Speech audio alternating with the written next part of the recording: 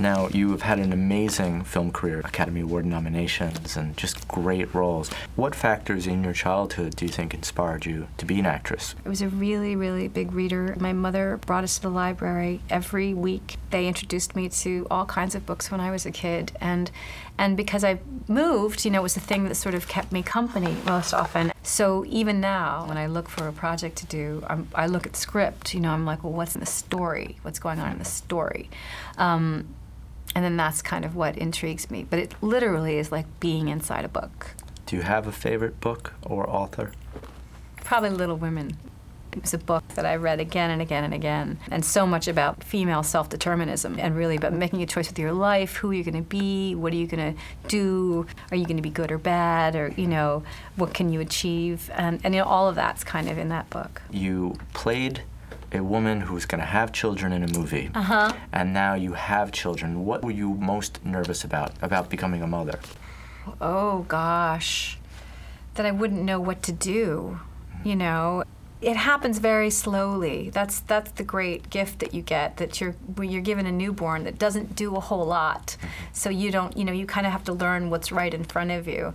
And that's the great thing about parenthood is that they don't sit up right away and say, "Oh my gosh, mom, I have so much homework and I need to go to basketball," and then you have to fill out this application from you. That doesn't happen at birth. Yeah. Now that you are a mother and you have to balance work, motherhood, life in New York City, what would you say has been the most difficult part of that? I mean, it's what everybody says. You do feel like you're torn in a million different directions. But I always do say that to everyone that it is a great problem to have. I'm so fortunate, you know, to have my really beautiful family, and I really like the work that I do. But it does help to have friends who are in the same situation. And I think the more you know that it's something that everyone's dealing with, and they're all dealing with it out of choice, too. You know, we want this, um, the easier it, it becomes for you. So you played in Jurassic Park. Mm-hmm. So now, what was that like working on a film with all this amazing special effects? Do your kids watch that with you? And they have never yeah. seen it. Oh, why is that? Yeah, they just don't. Have, they don't have a whole lot of interest in me as an as an actor. But you know, you, it's funny. That's a question that you get a lot about special effects, and I always point out to people that you know, we're always pretending.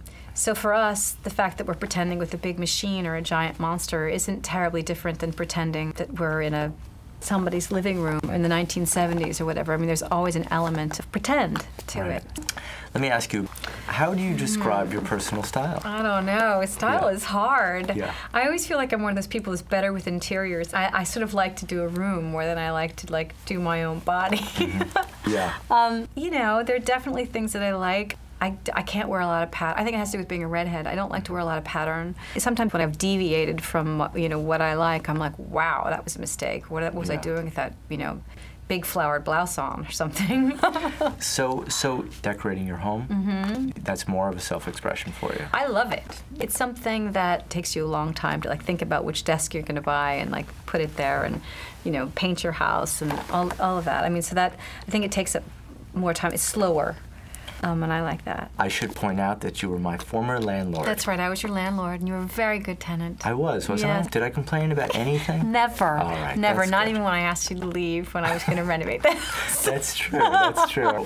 the room that I moved out of, my yep. old apartment, mm -hmm. what have you done with it? Where your living room was is now my office. Mm -hmm. Where your bedroom was is now our living room. So we sort of moved everything, you know, moved everything. Did you around. keep anything from my era? Yeah, the floors. Okay. All the floors are still there. Yeah. yeah. the shutters are still there. I mean, we kept everything that was original Picture about the house. That I left in That's the well, there was, there is that in the hallway. Yeah, as you come in. uh, it is a beautiful apartment, oh, and yeah. uh, I'm sure your family is very happy there. Thank you. So congratulations on the book. Thank you. Thank you for joining us. Oh, today. so nice talking to you. Great.